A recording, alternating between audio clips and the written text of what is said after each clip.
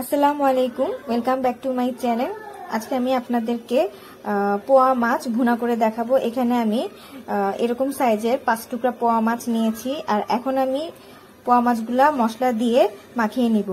দিয়ে দিব এক টেবিল চামচ রসুন বাটা আর দিয়ে দিব এক টেবিল চামচ পরিমাণ মরিচ বাটা। আপনারা চাইলে মরিচের গুঁড়াও ব্যবহার করতে পারেন। আমি এখানে মরিচ বাটাটাই ব্যবহার করেছি।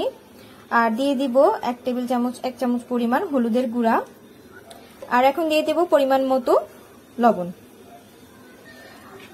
সব মশলা দিয়ে আমি এখন এটা ভালো মতো মেখে নিব।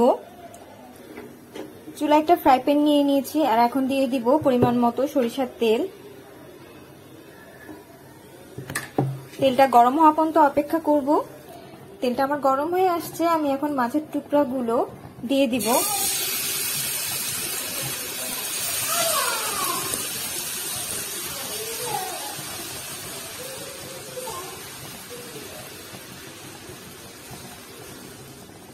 সো গাইজ মাছগুলো আমার এক পাট হয়ে গেছে। আমি একটু উল্টিয়ে দিচ্ছি।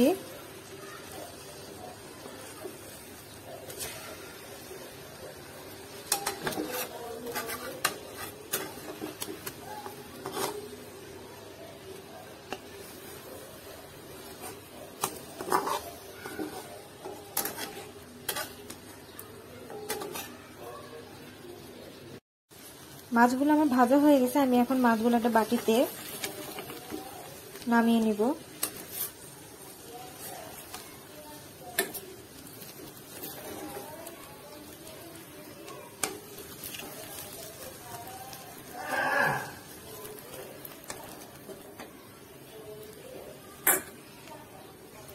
এখন আমি দিয়ে দিব পরিমাণ মতো পেঁয়াজ।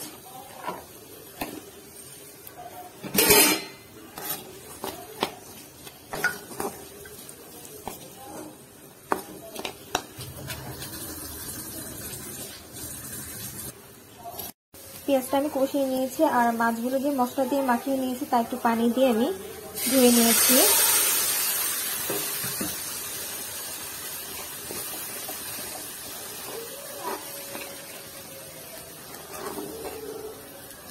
তো আমি এখন মাছগুলো দিয়ে দিব।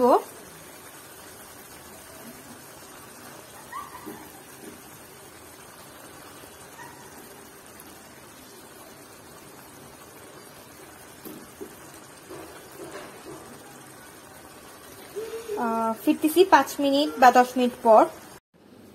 সো গায়েজ আমি চুলা থেকে নামিয়ে নিয়েছি আর সার্ভিং ডিশে তুলে নিয়েছি। আর দেখুন, তৈরি হয়ে গেল আমার পোয়া মাছের ভুনা রেসিপি আর আমার এই রেসিপিটি যদি ভালো লাগে, অবশ্যই বাসায় ট্রাই করবেন। আর লাইক শেয়ার কমেন্ট করে জানাবেন। ভালো থাকবেন। আল্লাহ হাফেজ।